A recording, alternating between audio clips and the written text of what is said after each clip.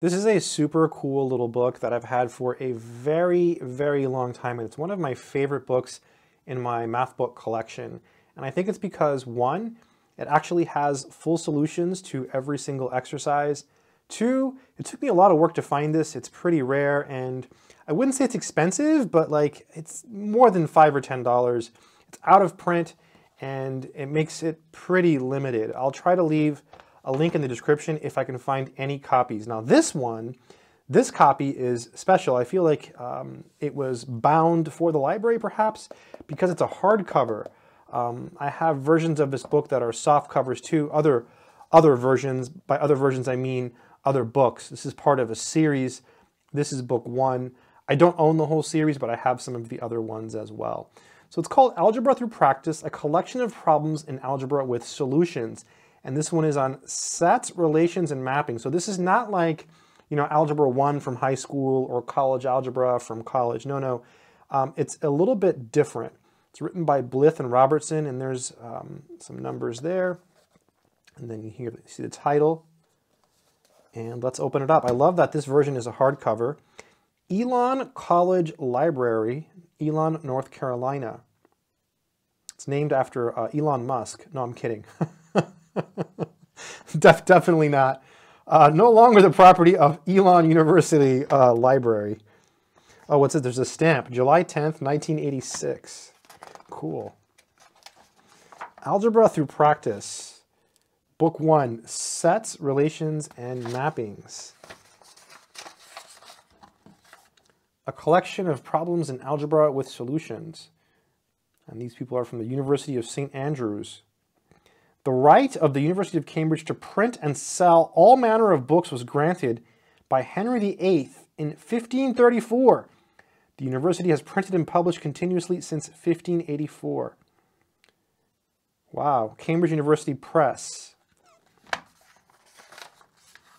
And then here is the copyright, 84. Printed in Great Britain at the University Press, Cambridge. That'd be a really cool place to to visit just to see, you know, do they still make books there? You know, what's it like? Uh, you know, I just, for some reason, I picture this historic building where they're making books, uh, but that's probably not, not the case. So here is the contents, sets, relations, and mappings, and then you have solutions, and then you have test papers. Let's look at the test papers at the back and just jump to the test papers because I want to see something. I know we're starting backwards, so here's the test papers. Here's test paper four. And then you have, you don't have uh, solutions to the test papers. That's what I wanted to check because I'm pretty sure you didn't. But you have solutions to the exercises. So it's kind of interesting. So you don't get answers to the test papers, but you still get answers to all the problems. So let me just show you how it works. Here's the background reference material. It says courses on abstract algebra can be very different in style and content. Likewise, textbooks recommended for those courses vary enormously, not only in notation and exposition, but also in their level of sophistication. It's very, very true. Here's a list of some major texts that are widely used and to which the reader may refer for background material. The subject matter of these texts covers all six books in the Algebra Through Practice series, and in some cases a great deal more. For the convenience of the reader, there is given below an indication of which parts of which of these texts is most relevant to the appropriate chapters of this book.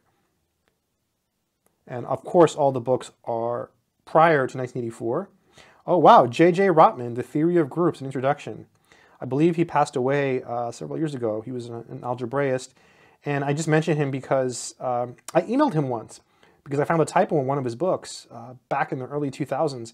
And he replied to my email. And I thought that was really cool. Yeah. Lang, I have that book. I also have the Herstein book. Cool. I have a lot of these books. All right, let's keep going. And then, so it starts with sets. And then you can see it just basically gives you an overview of sets. Like it does it really quickly, right? It's like a super, super quick condensed look, and that's it, right? You're done. Then you start doing exercises. One. So you have A, and then which of the following are true? List the elements of the power set of the power set of the empty set and of the power set of the power set of the power set of the empty set. That's number two. Wow. So just little problems that you can do for practice. And the really cool thing is you have answers to all of them. So you can actually do these problems and then you can go to the back of the book here and check your work. And this is something that obviously a lot of math books are missing. Most modern books that are used in colleges and universities in the US today have answers to the odd numbered problems or less. They don't typically have answers to all of the problems. Whereas this is a problem book. I also like this series and this particular book also because the problems vary in difficulty. Like they start off pretty easy and, and they do get harder. So like I feel like you have a fighting chance. I have a problem book uh, on linear algebra that is just, I just feel it's a bit much. Like there's no easy problems. Uh, it's not really the best problem book. Whereas I think that these people, Blyth and Robertson, did a great job on all of their books. Uh, very, very good compared to other problem books I have. I think this series is quite superior, and it's a shame that uh, it's out of print. Uh, again, I'll look and I'll try to leave a link in the description. I don't know um, if it's in print, and I don't think it is. I'm pretty sure it's out of print.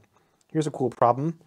The functions f and g from r to r defined by, oh cool, show that the composition GOF is a bijection and give a formula for the inverse.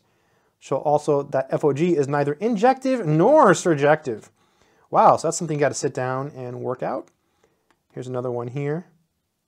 It's pretty cool, right? Cool little problems that um, you wouldn't expect to see uh, in other books. A lot of other books don't have problems like this.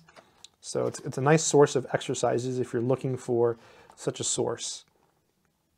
Yeah, I got to give it a whiff here. It's just, it's drawing me. Ah, oh, smells so good, so good.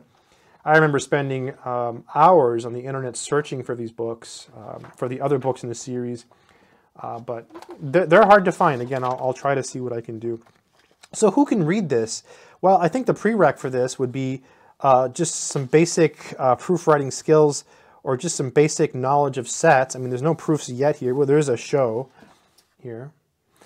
Uh, but, you know, there are proofs in here, but you could, you could probably jump into it without proofs and, and struggle. And knowing how to write proofs is going to make uh, reading a book like this uh, so much easier. So much easier. Biggest con to this book is that it doesn't have answers to the test papers, but then again, it doesn't even need to have test papers, right? You, you could take the test papers out, then then it's not a con because I can't say it doesn't have answers. So I don't like to, you know, talk bad about the book for what it doesn't have. It does a great job on what it does have, and yeah, I only wish it had more. Um, yeah, it's a great series. They did a great job, Blyth and Robertson. Uh, timeless classic, in my opinion.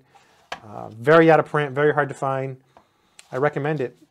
If you want to learn math, uh, I do have courses. Uh, feel free to check them out. They're on my website, freemathvids.com or mathsorcerer.com. I'll also leave a link in the description. The courses are actually on the Udemy website, but if you decide to check out any of my courses, please, please use my links as it helps me greatly. Otherwise, Udemy takes pretty much a big chunk of it. And I have courses on calculus and algebra. I have a course on set theory proofs. It's just like proofs in set theory. Uh, I have an advanced calculus course, an abstract algebra course, and some other things as well. And if you're not a subscriber and you feel like uh, you found any value in this content, subscribe if you want to. If not, that's okay too. And if you take away anything from this video, I would say that this book is really cool. so I, I, really like this book. It's one of my favorite books. Uh, I just got to smell it again. And I love how this one's a hardcover. So I, I'm guessing, I'm guessing that it was Ah, smells good. I'm guessing that the library or someone bound it because normally it's a soft cover. So if you know about that stuff and, and why it looks like this, uh, leave a comment. I'm curious. Maybe other people are curious as well. So yeah, really great book. I hope it's been helpful. Good luck.